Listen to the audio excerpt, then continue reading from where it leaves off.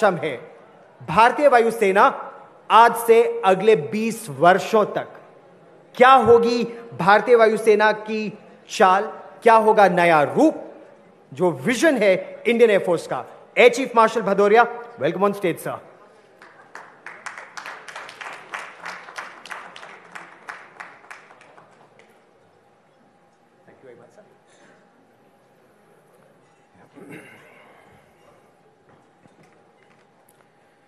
Distinguished guests, ladies and gentlemen, thank you, Gaurav, for that robust introduction. I can't speak as loud as you were speaking, but I will uh, do my best.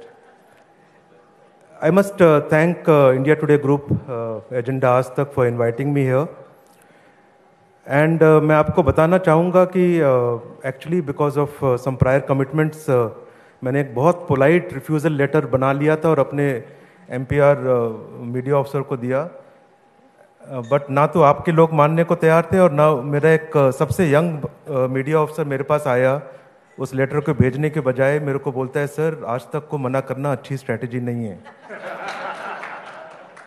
So here I am after amending all the programmes and before I start today is Vijay Diwas so on behalf of the entire air force I would like to place on record our deep sense of gratitude to all our martyrs and to all the personnel of all three services who fought the 71 war and brought us this huge, unforgettable victory.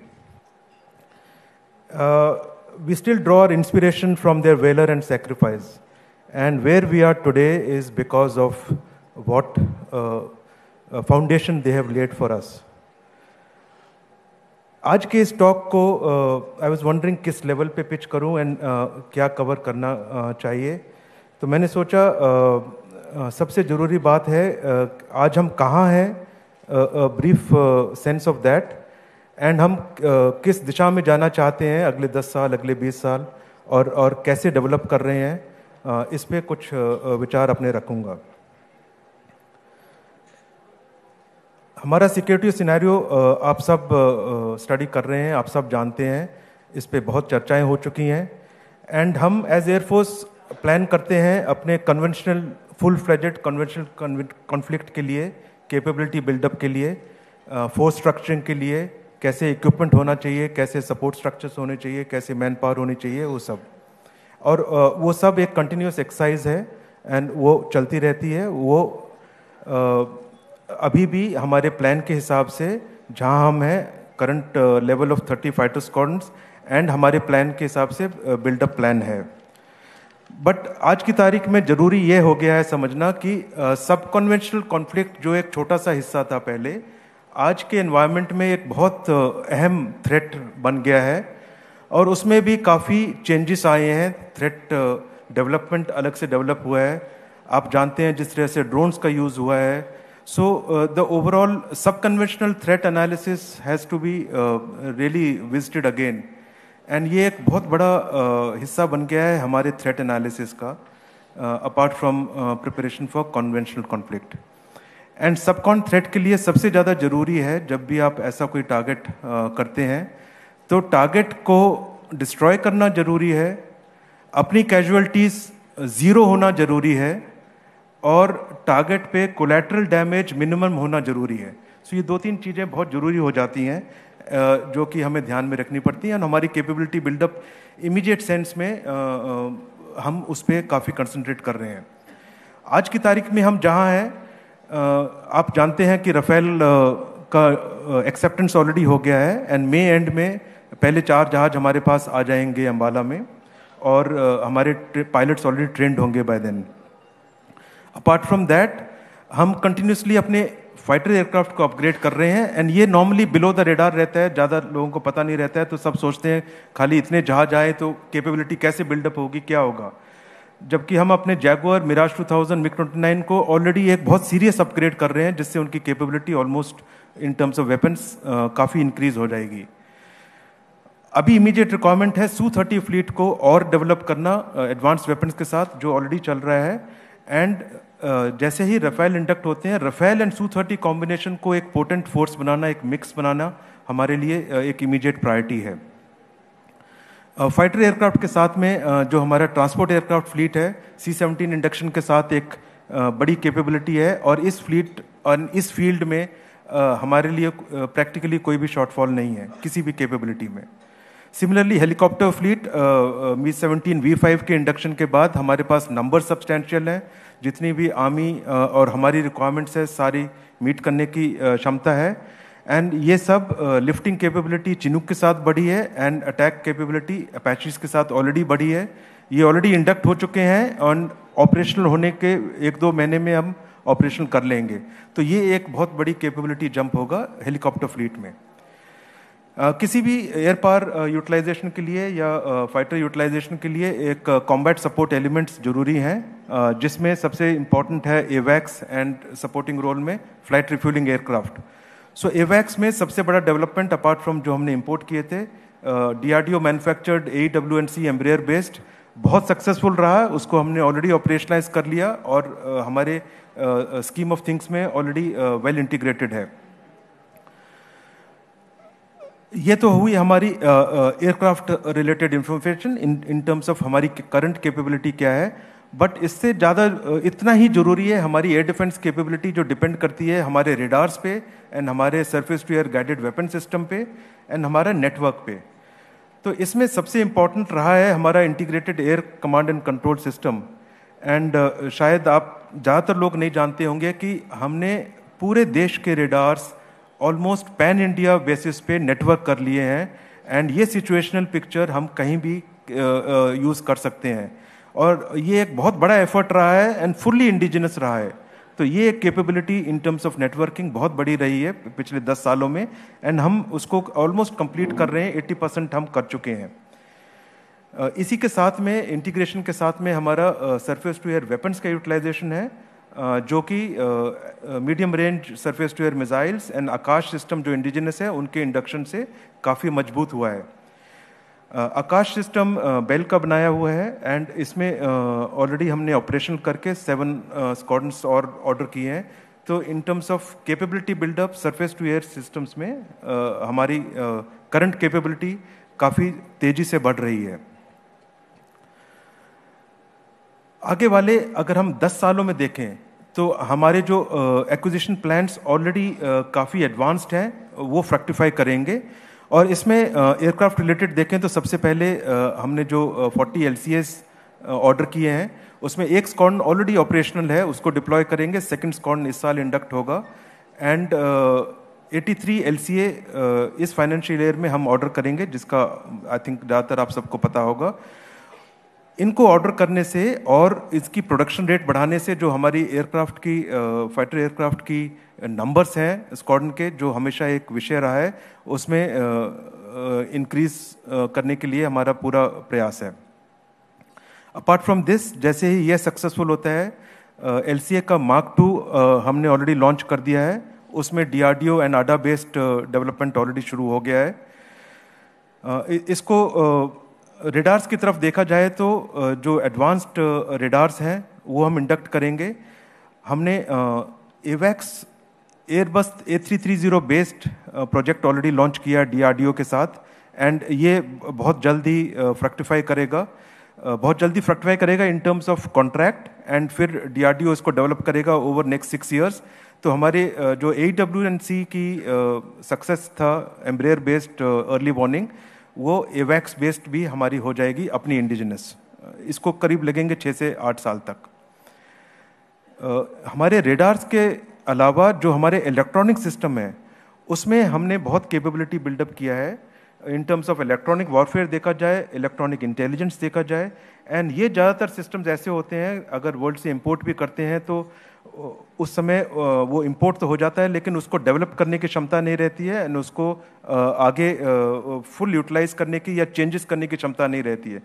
तो इस field में DRDO and हमारी P की जो progress रही है recent past में अच्छी रही है एंड अपार्ट फ्रॉम दो फाइटर स्कॉन दो फाइटर टाइप्स जहाँ हम कर चुके हैं सू थर्टी एंड दूसरे एयरक्राफ्ट पर भी हम इंडिजिनस इलेक्ट्रॉनिक वॉरफेयर सिस्टम्स लगाएँगे। In terms of long long range development plan अगर हम uh, 10 साल से 20 साल तक के होराइजन पे देखें तो हमने करंटली फिफ्थ जनरेशन एयरक्राफ्ट जो एक सबसे ज़रूरी कैपेबिलिटी है आज की तारीख में uh, उसमें indigenous DRDO and ADA development base पे एमका को ऑलरेडी क्लियर कर दिया है एंड एमका की डेवलपमेंट प्रोसेस ऑलरेडी स्टार्ट हो गया है। तो अगर लंबे होराइजन पे देखा जाए तो एमका uh, का सक्सेसफुल होना एक बहुत ज़रूरी टारगेट है डीआरडीओ एंड नाडा के लिए। एंड एयरफोर्स का उसको सपोर्ट करना इसलिए ज़रूरी है क्योंकि आज अगर हम सपोर्ट नहीं देते हैं तो इस तरह की इंडिजिनस डेवलपमेंट कभी भी नहीं हो पाएगी। आज जिस जगह हम खड़े हैं with immediate induction of Rafale and S four hundred हमारी इमीडिएट रिक्वायरमेंट्स मीट हो गई हैं एंड इस, ये समय ऐसा है जाकि, ताकि हम इंडिजिनस डेवलपमेंट कैपेबिलिटीज़ को बढ़ावा दे सकें। उस सेंस में फिफ्थ जनरेशन बहुत ज़रूरी है। इसमें स्टेल्थ टेक्नोलॉजीज़ का डेवलपमेंट होगा। Advance sensors be it radar sensors infrared sensors और उनका data fusion use of artificial intelligence and long range weapons long range weapons and precision weapons एक बहुत ज़रूरी फ़ील्ड हो गया है, जिसमें जो करंट डेवलपमेंट मैंने आपको फाइटर्स में बताया, वो हम इंडिजिनस मिसाइल्स को ऑलरेडी डेवलप कर चुके हैं। एंड इसको अगले 10 साल में फ़ेज़ टू डेवलपमेंट करके और एडवांस बनाना है ताकि वो beyond hundred kilometres kill range हासिल कर सकें। तो एयर टू एयर मिसाइल्स को बियॉन्ड हंड्रेड किलोमीटर ले जाने का टारगेट है अगले दस साल के होराइजन पे। And long horizon beyond ten years जब फिफ्थ जनरेशन की बात आती है तो इन्हीं long range missiles and long range stand off weapons को इंटीग्रेट uh, करने के लिए एंड आर्टिफिशियल इंटेलिजेंस यूज़ करके सारा डेटा फ्यूजन करके उसको minimum shooter minimum detection to shooter time achieve करना ज़रूरी है। इसका मतलब ये है कि एडवर्सरी uh, के हिसाब से सबसे पहले आपको देखना चाहिए आपकी कैपेबिलिटी डेटा एनालिसिस की इतनी तेज होनी चाहिए कि आप उसको एनालाइज करके पायलट uh, को टारगेट बता सकें कि ये टारगेट है। एंड सबसे पहले आपकी फायर करने की क्षमता हो। और आपकी क्षमता एडवर्सरी से डिस्टेंस के रेंज में ज़्यादा हो सो so, ये एक क्रक्स इशू है एयर पार्क का in terms of technology and capability and जितने भी हम डेवलपमेंट कर रहे हैं अगले टेन एंड ट्वेंटी ईयर्स के लिए वो उसका बेसिस ये है एमका uh, को हम फिफ्थ जनरेशन बोल रहे हैं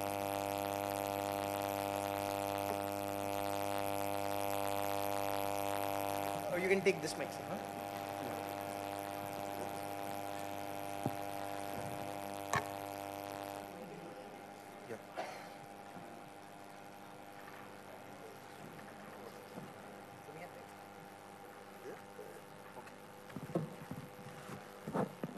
So I saying जितने भी हम लॉन्ग रेंज डेवलपमेंट प्लान कर रहे हैं अपार्ट uh, फ्रॉम हम इसको फिफ्थ जनरेशन एयरक्राफ्ट बोल रहे हैं लेकिन uh, इसमें सिक्स जनरेशन टेक्नोलॉजीज़ को भी डालना बहुत ज़रूरी है।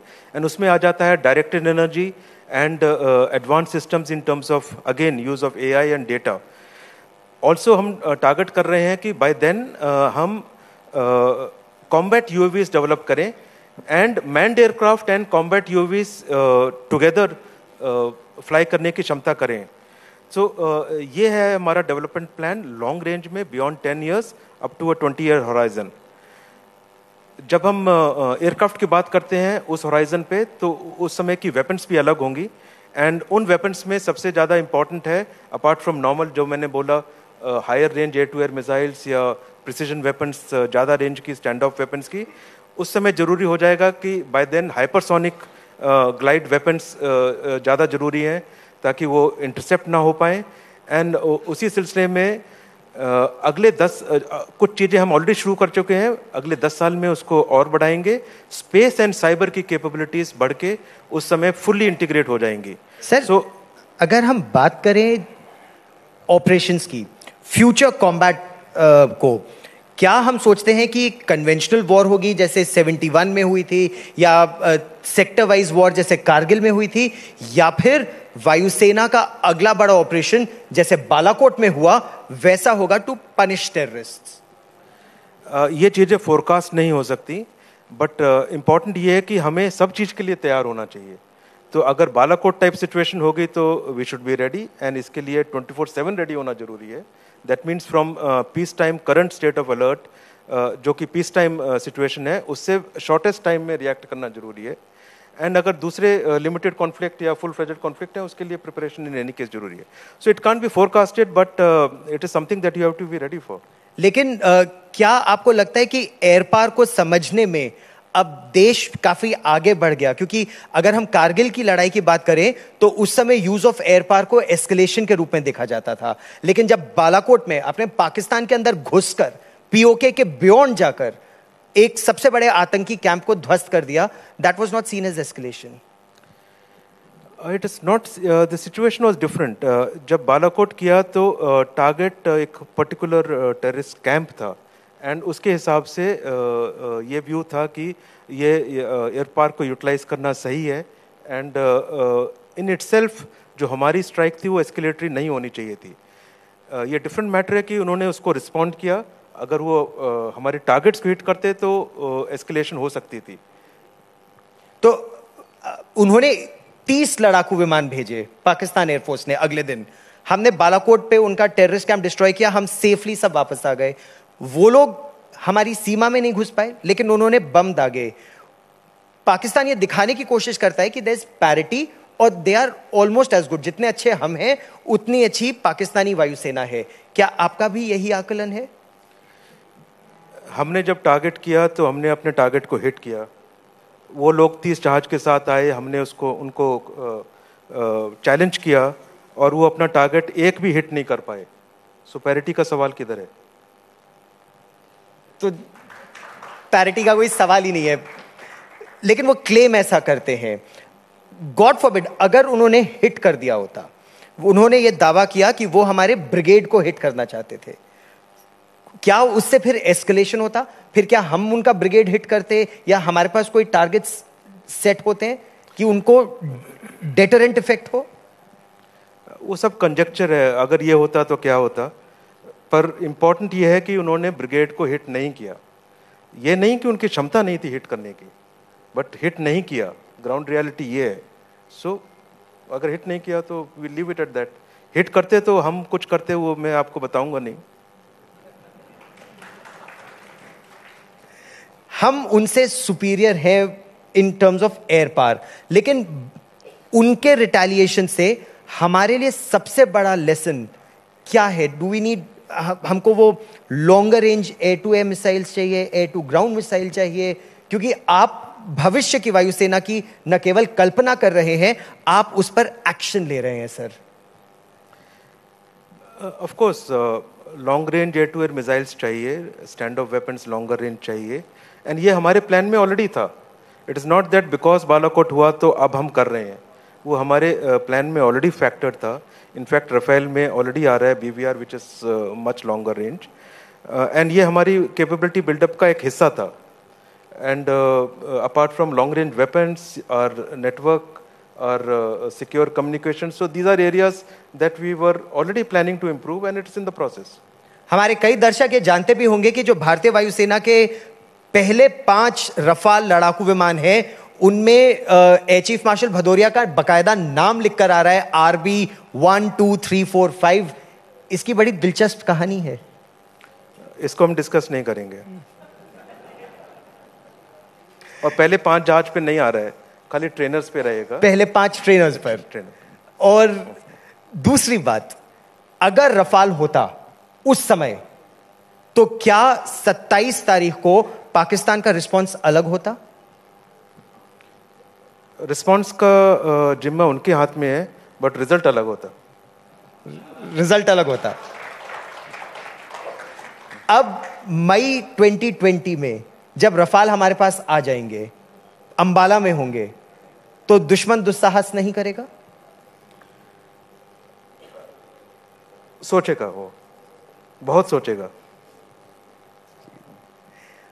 क्या हमारे पास ये क्षमता है कि हम अगर हम सब कन्वेंशनल वॉरफेयर की बात करते हैं और सबसे बड़ा खतरा पाकिस्तान से आ रहा आतंकवाद है, क्या पाकिस्तान में आतंकी या आतंकियों के ठिकानों को भारतीय वायुसेना बिना कोलैटरल डैमेज के या लीस्ट कोलैटरल डैमेज के ध्वस्त कर सकती है?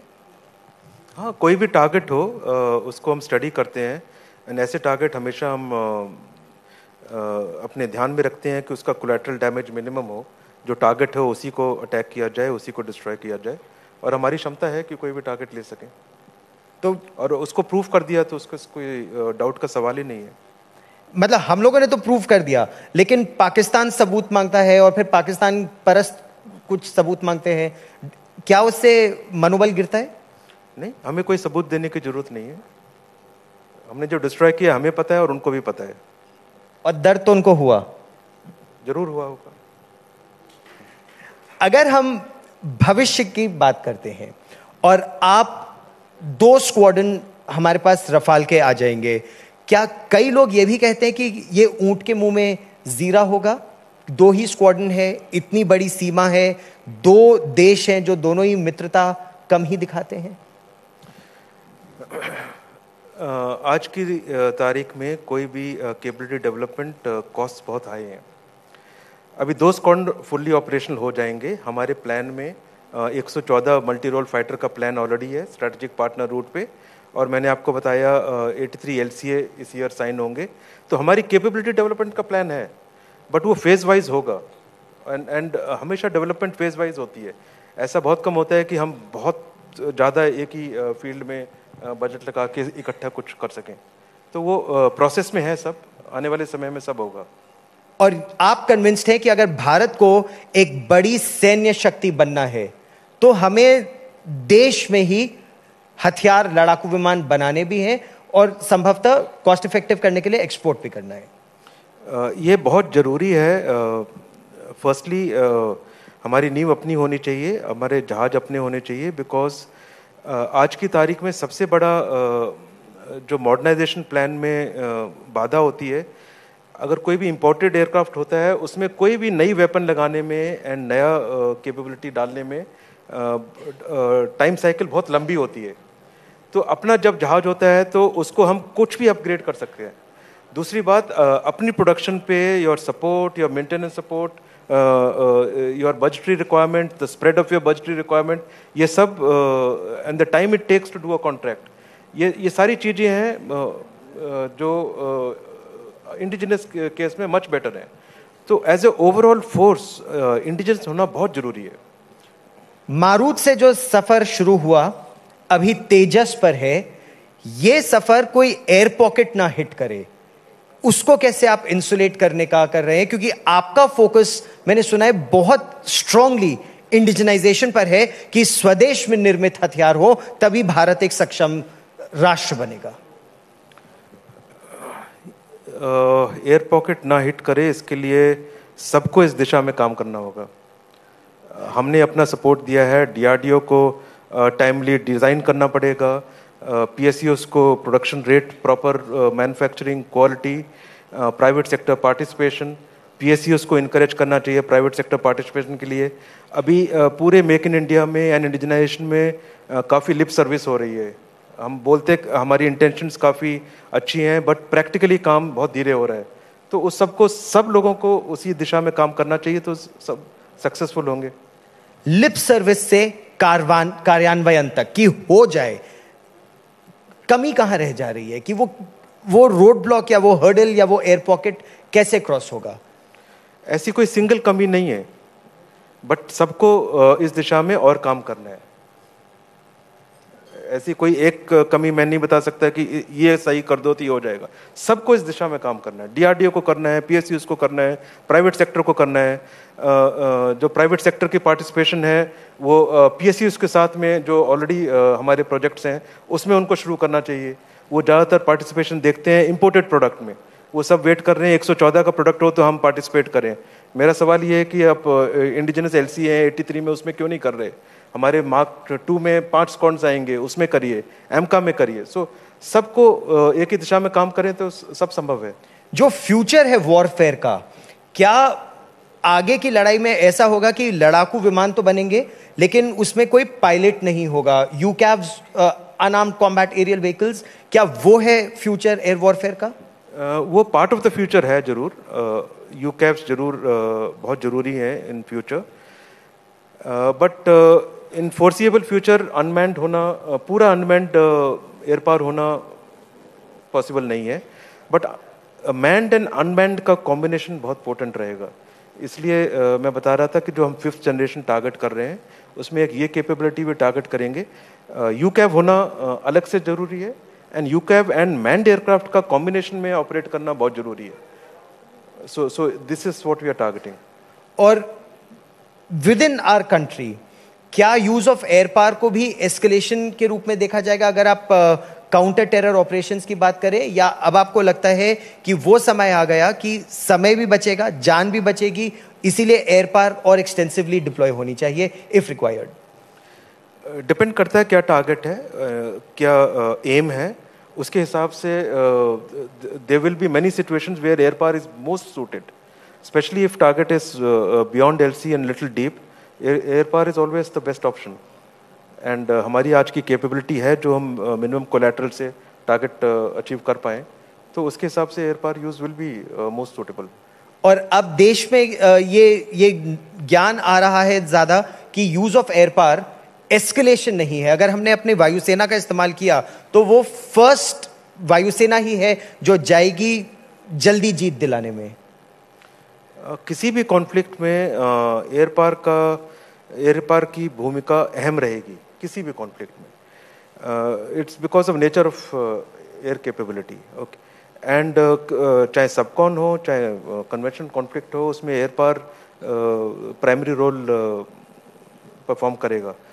बट सबकॉन सिचुएशन जिसकी तरफ़ आप हिंट कर रहे हैं uh, उसमें ऑफकोर्स टारगेट्स uh, ऐसे हैं ज़्यादातर टारगेट्स ऐसे हो सकते हैं जिसमें air power can deliver fastest इसमें सबसे ज़्यादा ज़रूरी है अपनी एट्रिशन कम होना या ज़ीरो होना importantly and collateral damage control करना। और हम उसी तरफ़ आगे बढ़ रहे हैं कि अपनी कैजुअलिटीज न के बराबर हो।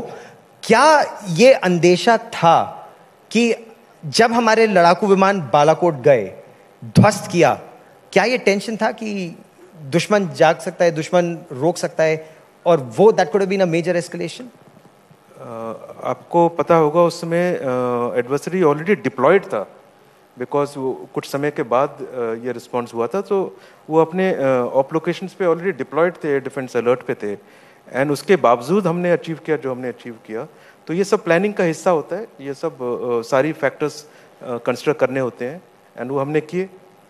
और ज़रूरत पड़ने पर फिर भी कर सकते हैं। ज़रूरत पड़ने पर हमेशा करेंगे। इसे कोई भय नहीं है। बिल्कुल नहीं है। दुश्मन को भय है। दुश्मन को हमेशा रहेगा। सर आज तक पर आपने हमसे बात की। बहुत बहुत धन्यवाद। And wish you all the best sir as always thank you very much sir